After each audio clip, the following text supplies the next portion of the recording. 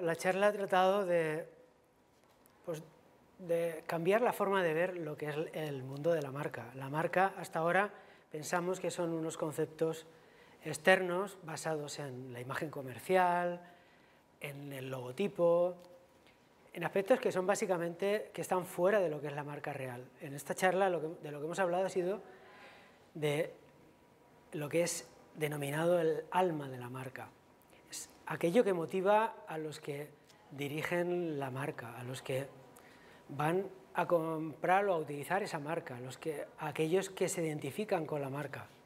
O sea, yo creo, creemos que la marca tiene como un poder especial cuando esa marca está basada en principios, está basada en motivaciones personales, está basada en pasiones, el objetivo de esta charla ha sido ponerle una semilla en los participantes para que entiendan que la marca es algo mucho más profundo, que es mucho más abierto y que permite no solamente llegar a un público objetivo, sino a la vez motivar a los propios profesionales que llevan aquí en su chaqueta o en sus tarjetas eh, la imagen de esa marca.